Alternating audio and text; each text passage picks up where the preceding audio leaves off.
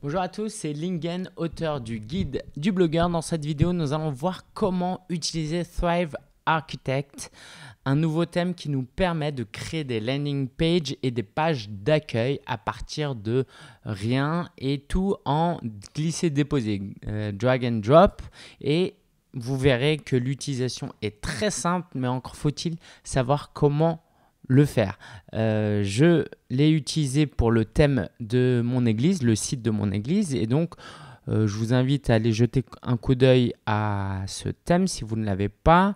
Vous pouvez utiliser mon lien affilié ou sinon, si vous l'avez déjà acheté, je vous présente les premiers pas à suivre. Alors, on va aller ici dans Ajouter une nouvelle page. Quand vous allez dans Ajouter une nouvelle page, donc pour créer une page d'accueil ou une page de vente, une page de capture, vous allez vous retrouver avec ceci.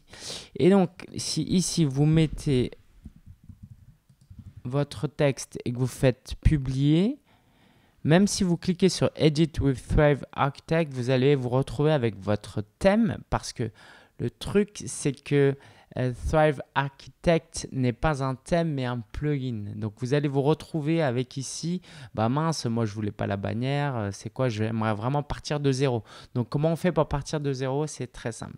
Une fois que vous avez cliqué ici, vous êtes ici et vous avez cette fenêtre qui est à gauche ou à droite. Ok? Et on va aller ici dans Page Setup.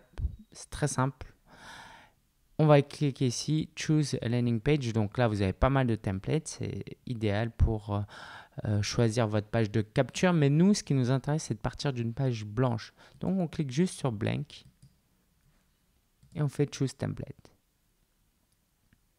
Et là, on commence avec une page totalement blanche. Donc où je vais pouvoir mettre une image ici. Voilà exemple, et quand je sauvegarde et que je publie,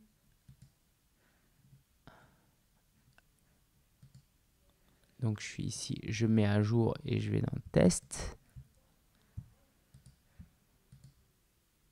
Voilà, vous avez vu ici, euh, c'était la phrase que j'avais laissée. Euh, et je peux vous donner un exemple. Donc, on s'entraîne actuellement avec la page d'accueil de, notre euh, notre église et ça donne la chose suivante. On va y arriver. Voilà. Donc on a piqué un peu un template d'une autre église juste pour voir ce que ça pouvait donner. Donc on peut ajouter ici des titres, une barre de menu, une image.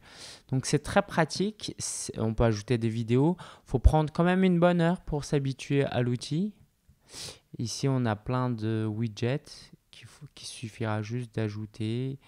Voilà pourrez déplacer, vous pourrez le changer, configurer. Il y a plein de choses à faire, c'est vraiment, vraiment chouette. Euh, mais ça prend forcément un peu de temps au début. Donc, si vous avez des questions, n'hésitez pas à les laisser en bas de la vidéo. Euh, je voulais vous dire aussi une chose comme c'est un plugin et non un thème, il va falloir utiliser un thème. Et en fonction des thèmes, vous avez des modèles. Si vous avez un modèle où vous pouvez faire full width, vous n'avez pas besoin d'aller dans ce que je vous ai montré tout à l'heure. Donc, euh, ça va vous mettre une page totalement blanche dès le début. Donc, c'était Thrive Architect, les premiers pas pour créer une page à partir de zéro. Si vous voulez euh, vous procurer Thrive Architect, vous pouvez utiliser mon lien affilié qui s'affiche. Et sinon, je vous écoute pour vos, vos questions. N'hésitez pas à les poser et n'hésitez surtout pas à les poser au service client. Ils sont là pour ça, même si c'est en anglais. Je vous dis à très bientôt.